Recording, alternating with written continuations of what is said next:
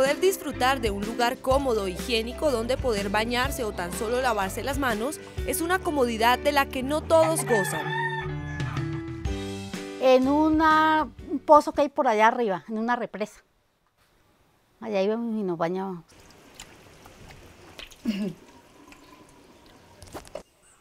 El tanque como era de mil litros se cansó cuando se llenaba y llovía, se, la, la plancha, se, eso ya era una laguna en el piso.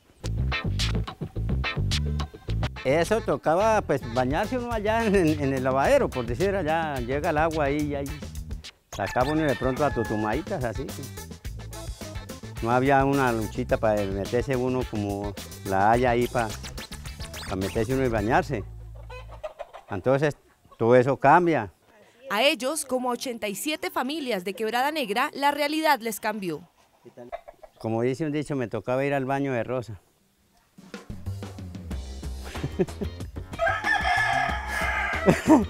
bueno, y ahora pues sí, ya, pues mucho mejor porque ya las cosas cambian, sí. Esta es la forma jocosa que tiene Don Pastor para contarnos cómo era la situación antes de que su casa tuviera una unidad sanitaria.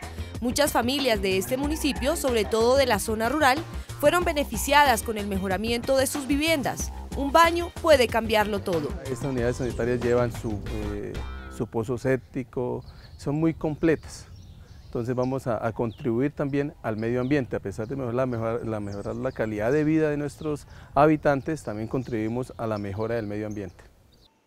Esto contribuye a tener mejores condiciones de vida e higiene. La salubridad del municipio mejorará notablemente. Esta es la finca Las Brisas, en la vereda Agua Fría, una de las viviendas que fue beneficiada con la entrega de estas unidades. El proyecto de la Gobernación de Cundinamarca y la Alcaldía Municipal busca brindar una mayor calidad de vida a estas familias. Para ellos es un bienestar que no tiene comparación. Eso sí es mucho, mucho, pues mucho mejor, porque este tiene hasta uno un, un lavamanos ahí para bañarse, la lucha, todo que eso ya es más, más moderno que, que antes.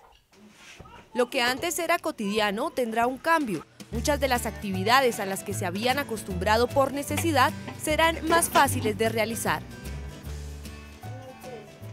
Anteriormente nos tocaba levantarnos más temprano para ir a buscar el agua para bañarnos. Ahora pues lo tenemos ahí cerca y, y ya no pues ya no mañaneamos tanto por ejemplo, para las niñas que les toca ir al colegio. Y a doña María Elvia le sobran los adjetivos para agradecer por esta colaboración. Fue toda una colaboración muy linda, muy bella, muy chusca, muy elegante. Es este sentimiento de gratitud el que impulsa día a día a seguir trabajando por el bienestar y la prosperidad de cada uno de los habitantes de Quebrada Negra y de Cundinamarca.